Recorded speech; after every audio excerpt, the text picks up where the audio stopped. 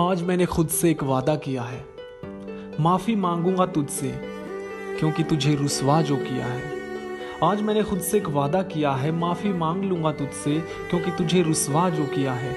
हर मोड़ पर रहूँगा मैं, तेरे साथ साथ अनजाने में मैंने तुझको बहुत दर्द दिया है।